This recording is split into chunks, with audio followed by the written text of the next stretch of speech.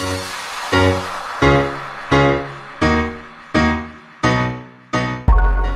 तक आपके सोनीपत लोकसभा क्षेत्र में कितने गाँव कवर हो चुके हैं? सवा सौ से ज़्यादा गाँव। लोकसभा में तो सवा सौ क्यों?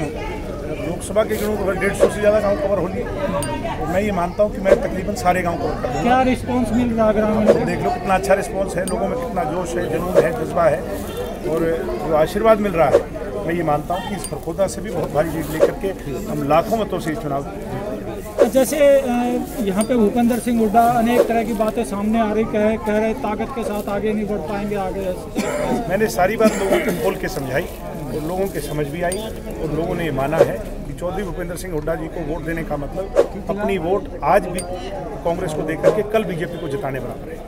इसलिए बीजेपी को वोट देने का फ़ायदा नहीं बाई इलेक्शन होगा बाई इलेक्शन के अंदर देश में कांग्रेस की सरकार नहीं होगी, और ऊपर जिसकी सरकार होगी, फिर उसकी हवा में रमेश कौशिक जैसा फिर जीत करके आएगा। ऐसा नुकसान हम ना करें। मजबूती से पाँच साल का नुमाइंदा अभी चुने ये कहने में। केजरीवाल जी का और दुष्यंत जी का रोड शो है और हज़ारों हज़ारों की संख्या में कार्यकर्ता और लोग जो हैं इकट्ठे होकर के बहालगढ़ चौक से शहर होते हुए गन्नौर की तरफ़ आगे।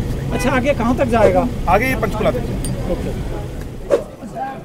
अब तक आपके सोनीपत लोकसभा क्षेत्र में कितने गाँव जो है कवर हो गए? हैं सवा तीन सौ गाँव कवर हो गए हैं और आज हो जाएँगे बीस बाईस गाँव। अब तो साढ़े तीन सौ करीब हो जाएँगे पूरा क्षेत्र सारा काम बिगाड़ा है? है। ये सारा हल्का मेरा कवर हो जाएगा और पहले भी बराबर होता रहा। और जो लोग ये इधर उधर के हैं ना इन्हें पता भी चल जाएगा कितनी हम कितने वोटों से कम से कम दो लाख वोट से ऊपर ऊपर हम ये चुनाव जीतेंगे।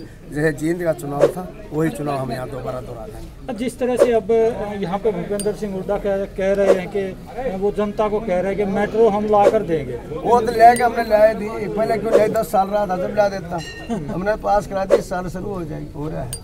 अरे नो दस साल में क्यों रोक था? हम ना अपना टिके थे। नो भाई दस साल तू रह लिया। ये बाग कल्याण की बात देखे सेंटर का काम है मेट्रो का। सेंटर में सरकार मारी बन रही। हरियाणा में मारी वो लिया हुआ कि जिस तरह से कह रहे हैं इधर चंडीगढ़ का रास्ता तय करेंगे सोनीपत से ऐसी बातें ऐसा ये रास्ता जो है ना इजी रास्ता ये कहने में और सपने लेने में कुछ नहीं का रो, रोहतक का रास्ता साफ़ है कि जाम में फंसा जाना पे।